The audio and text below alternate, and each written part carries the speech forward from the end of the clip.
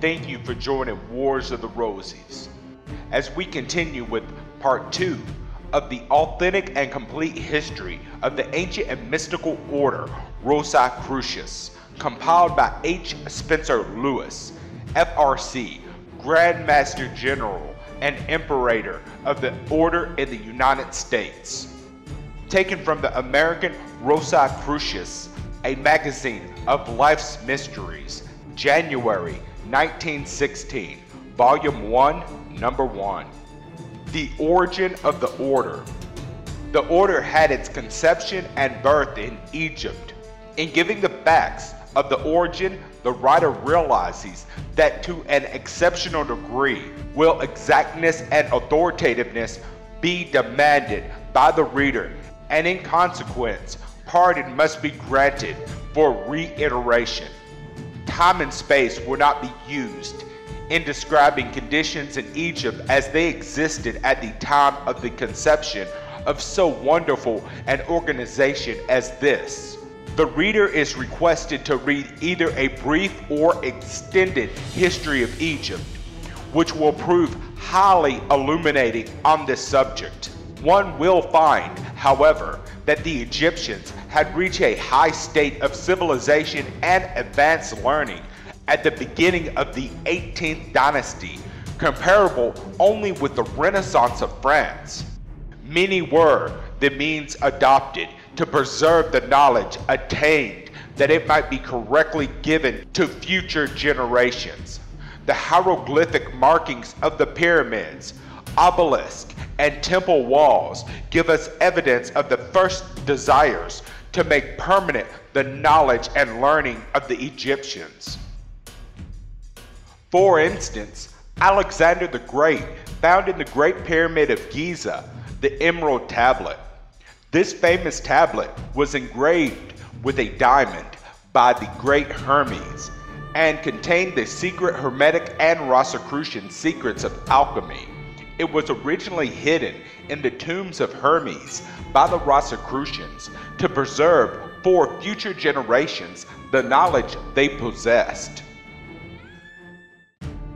But the more profound secrets of nature, science, and art were not to be entrusted to the masses, nor were they susceptible to preservation through writing upon papyri.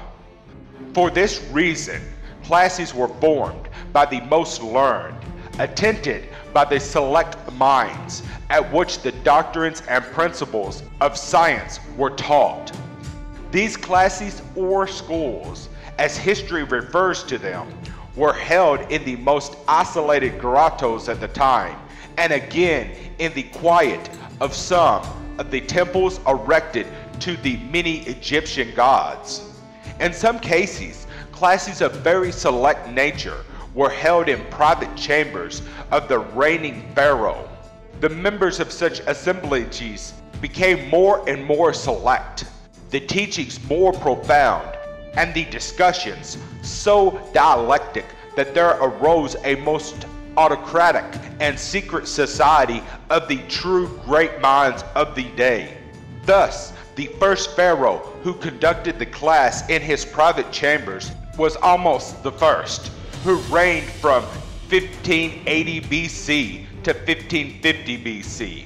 Because he was capable of conducting the great school as well as ruling the people upon a more civilized and advanced principle due to his training in the school, no doubt. He is referred to as the deliverer of Egypt by some historians.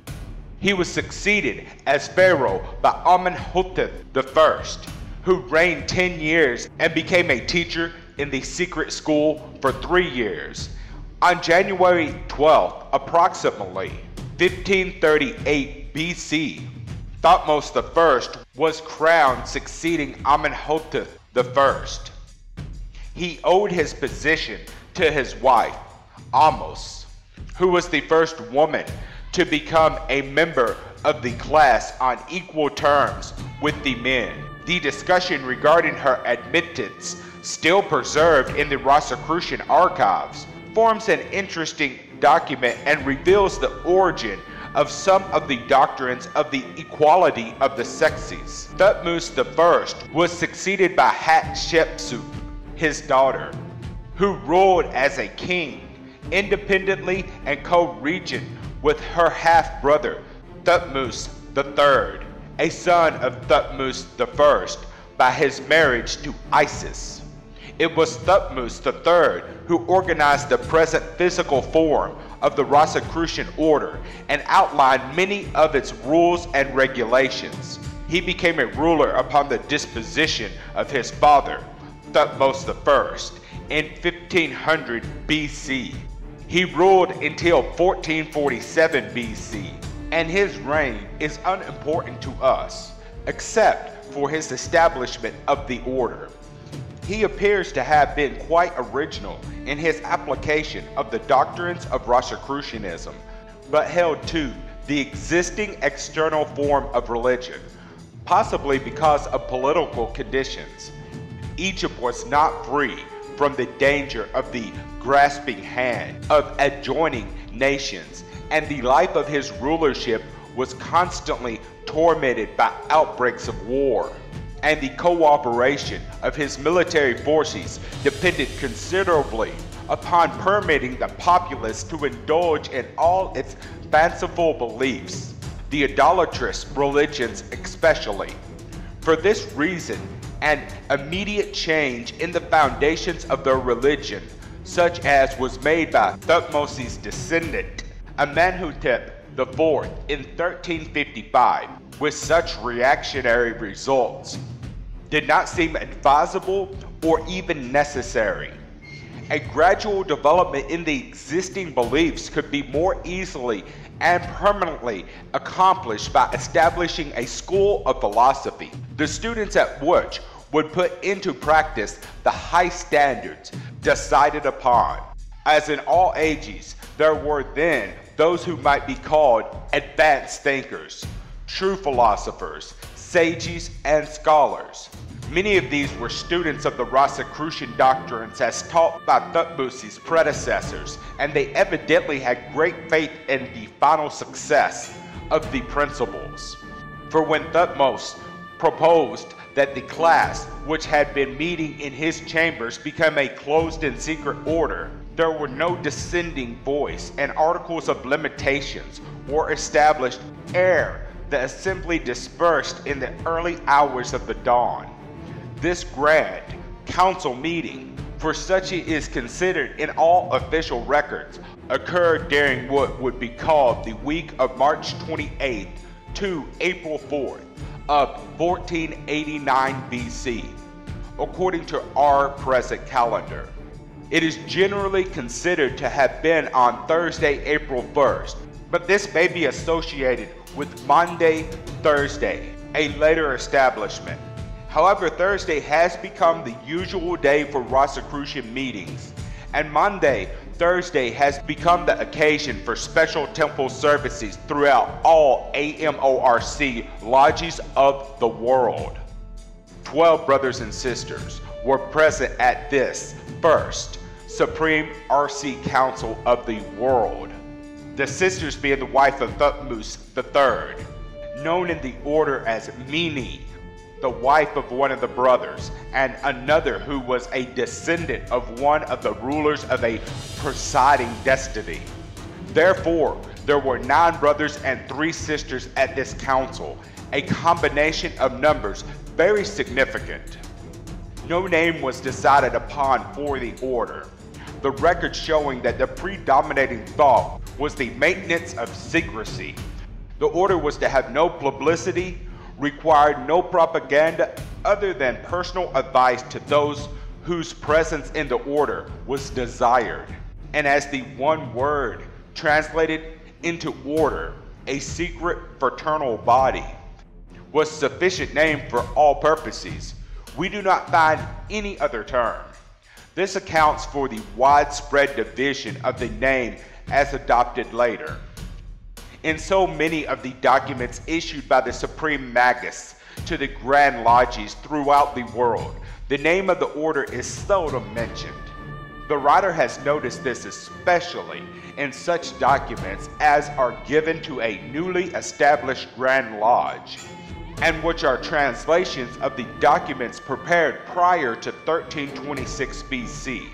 In these, the element, the ideal of secrecy is so strong and predominant that the order is referred to indirectly and sometimes erroneously, or perhaps diplomatically, as it, the school, the brotherhood, and the council. Furthermore, many of these documents begin with the announcement, I, Brotherhood of the Illuminati, with power decreed to declare this manifesto, or with the salutation, I, F, Illuminati of the Twelve, meaning I, Frater Illuminati of the 12th degree. Very often, these official manifestos are signed with Peace Profound and sometimes F Profundus or F12. These words not only show that the 12th or last degree was the last order within the order known as the Illuminati, even to this day, but they also explain why some references are made to these documents as instructions of the Illuminati, which may easily be misinterpreted or carelessly interpreted as instructions to the Illuminati, as one sees them referenced to works published abroad in the 15th, 16th, and 17th centuries AD, where the Order of Rosae Crucis is designed solely by the term Illuminati. Furthermore, if one considers for a moment the prejudice or even the prohibition against such secret orders as the AMORC represented, one will appreciate the very evident attempts at subterfuge. Not only did certain religious organizations condemn all secret organizations as works of the devil, but those orders or bodies which claim to have rare knowledge of the sciences were severely criticized by the various open scientific bodies of the day. As soon as learning became very general and competition arose between schools and students, the secret societies were widely condemned, even though many of the most unfair critics of some were oath-bound members of others.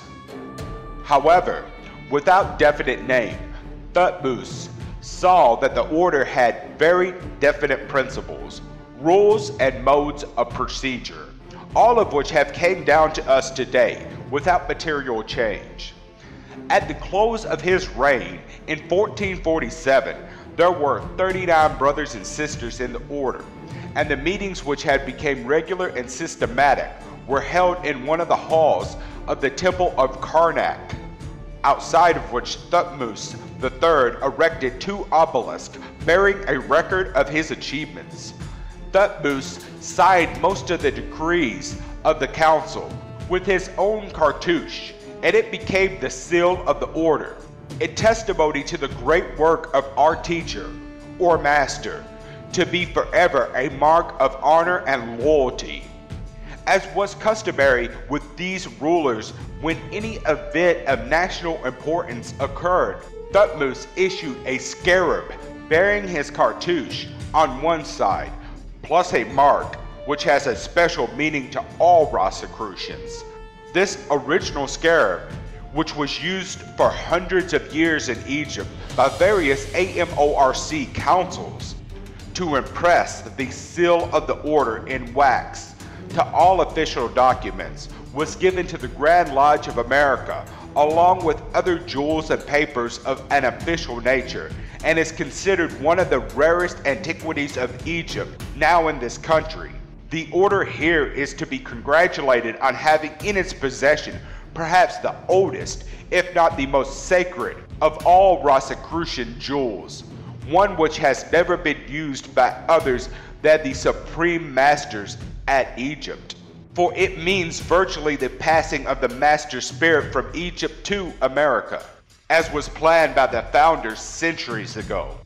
This seal appears on the stationery and official documents of the order in America, along with the American RC seal, and its illegitimate use constitutes a forgery according to the bylaws of the order throughout the world, punishable by a special decree of the masters.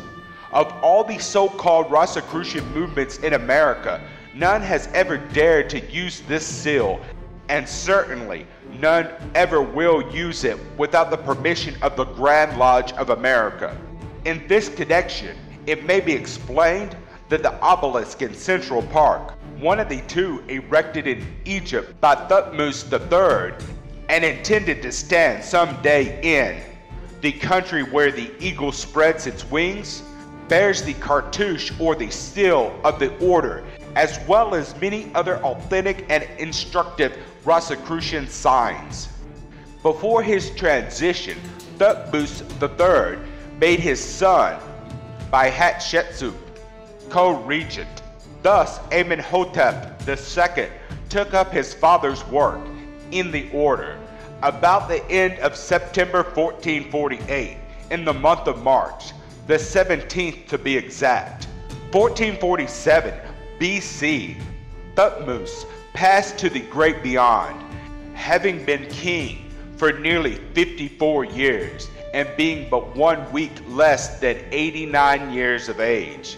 His mummy was found in the cachette at Deir el-Bahri, and history acclaims him the greatest pharaoh in the new empire, if not in all Egyptian history.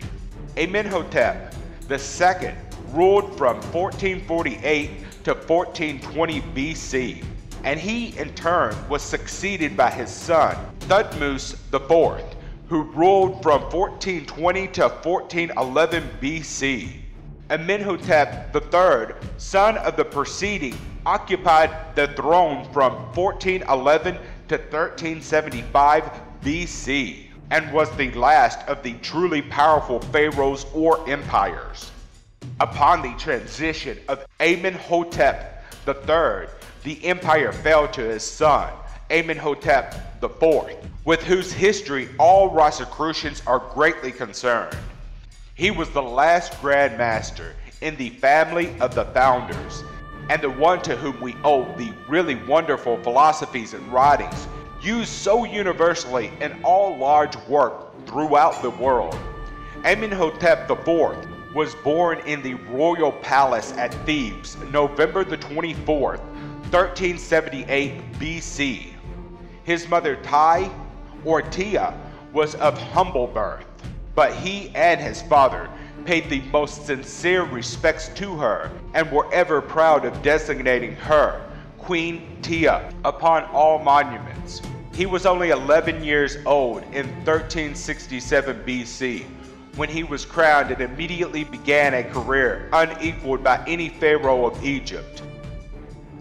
It is claimed in official records that Amenhotep was a prodigy as a result of a special course of prenatal influence adopted by his mother for the very purpose of bringing into the world a holy, inspired, learned man. In this respect, his looked for birth as the coming of a great leader of God's chosen people furnishes another precedent for the beliefs of later nations and peoples that in times of great crises a leader would be sent by God. Also, how this incident furnished a feeling in all Rosicrucians that a great Rosicrucian leader will be born into the order in each decade and in each nation where such a leader is required. His father, having been the master of the order for a number of years, built the great temple of Luxor and dedicated it to the order. He also added to the temple of Karnak and in many ways left monuments of testimony and praise. The order numbered 200 and 83 brothers and 62 sisters at this time, and at the time of the crowning of the young Amenhotep IV, the master of the order was one Theophset, who remained in the office until 1365 BC. Amenhotep's installation as master by council decree occurred in the temple of Luxor April 9, 1365, at sunset, in the presence of his bride and her parents. Amenhotep being the only descendant, it was deemed advisable that he marry as early as the customs then permitted in order that an heir to the throne would be assured. But Amenhotep had a number of children. Unfortunately, they were daughters. And this proved disastrous to the order as well as to the throne. It may be permissible here to contribute a few facts to the history of Egypt more especially to this ruler's life, and thereby settle with authority from the RC archives this doubt regarding Amenhotep IV's children. There has always been considerable concern felt by historians because Amenhotep did not leave more accurate data regarding his family. In this, as other instances of Egyptian history, the RC archives are exact and illuminating. Amenhotep's wife was Nefertim. His daughters were named as followed.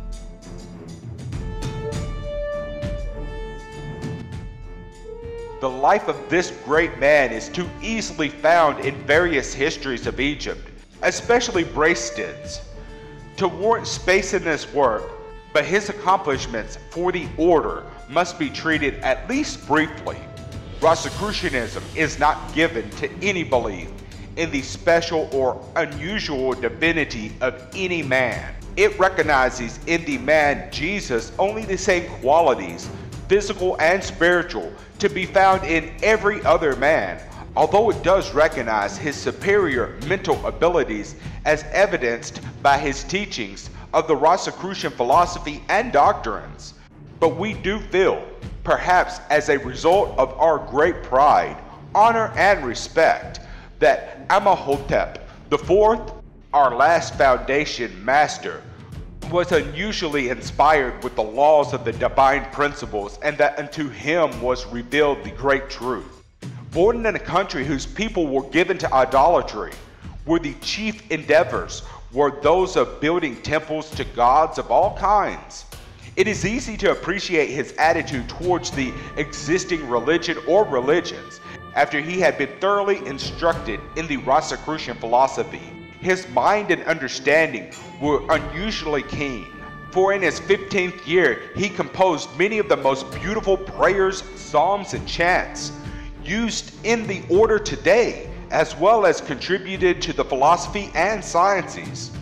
But to him came the inspiration of overthrowing the worship of idols and substituting the religion and worship of one God, a supreme deity, whose spirit was in heaven and whose physical manifestation was the sun, the symbol of life. This was in accordance with the Rosicrucian doctrines, and it changed the worship of the sun as a god to the worship of the god as symbolized by the sun. This was the beginning of monotheism in Egypt and the origin of the worship of a spiritual deity which existed everywhere in everything, but was nothing of the earth, i.e., had no physical existence on the earth in the form of inanimate or non spiritual images. Arthur E.P. Weigall, Chief Inspector of the Department of Antiquities, Upper Egypt, in writing of the religion inspired by Amenhotep IV says, like a flash of blinding light in the nighttime, the Aton, which is the sun symbol of the deity, stands out for a moment amidst the black Egyptian darkness and disappears once more, the first signal to the world of the future religions of the West one might believe that Almighty God had for a moment revealed himself to Egypt. Truly, the religion of Amenhotep did not endure for long. Compared to the years of darkness, it was but a flash, for it died as a public and general religion when Amenhotep passed beyond the veil in 1350 BC. He too left many monuments to the glory of the order, First, he removed as far as possible all pillars of Amen, and all references to Amun as a god.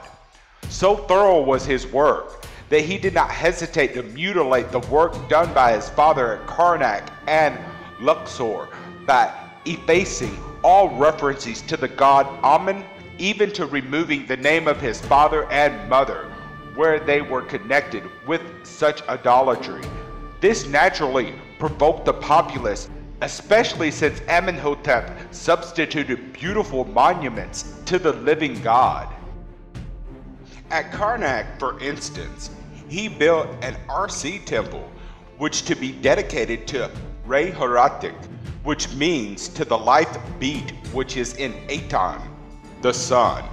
The ruins of the temple may be seen today, and the word Horatic is significant to all Rosicrucians.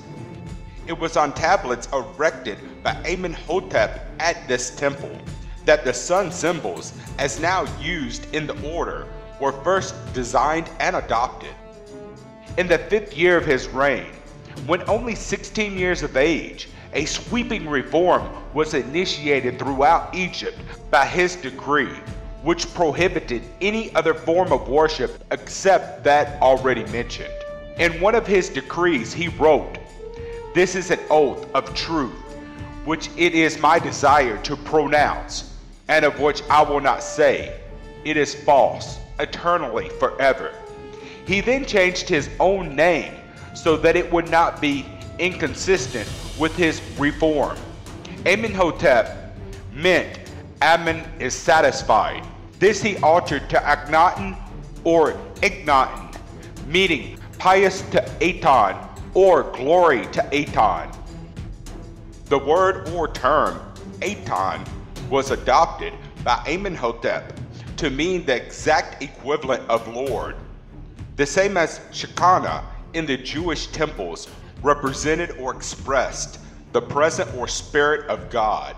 It is a strange coincidence that, although Shekinah was adopted by the Jews and is still used by them in very Orthodox services, it was adopted also by Rosicrucians in Egypt many years previously and is referred to in the present day first degree initiations in the order. He built a new capital at El Amarna in the plains of Hermopolis, a virgin site at the edge of the desert, and abandoned Thebes because it was the magnificent city of Ammon. At El Amarna, he also built a large temple for the order in the form of a cross and a large number of houses for his council of the order. Here was the beginning of the monastic life for within the boundaries of El Amarna lived 296 brothers of the order, each having taken an oath never to pass beyond the shadow of the temple. El Amarna is situated about 160 miles above modern Cairo, along the Nile. Here was a bay protected on the west side by the river, in which lies a small island. As Amenhotep viewed the scene from his boat on the Nile, he is quoted as saying, On the island shall be pleasure houses and pavilions. On the mainland along the river, where is the strip of cultivated land, I shall place my palaces, rose gardens of my nobles. Beyond these, in the plains of the sand, I shall erect the temples and palaces, and further on, where the limestone cliffs in crescent shape enclose the city, I shall have the chariot drives, roads, and tombs. And so it was. Even today, the once famous chariot drives, tombs, temples, and palaces in ruins may be seen. These brothers wore special costumes, which included a cord at the loins and a covering for the head while the priest in the temple wore a surplus of linen and had his head shaved in a round spot on the top. It was from this institution that all monastic orders, especially that of St. Francis, derived their methods, even their customs.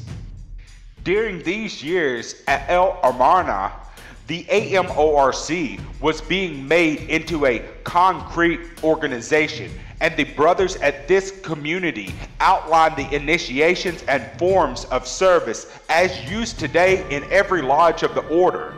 Akhenaten or Amenhotep IV not only built his temple in the form of a cross, but he added the cross and the rose as symbols of the order, and further adopted the crux ansata in a special coloring as the symbol to be worn by all teachers or masters in the lodge.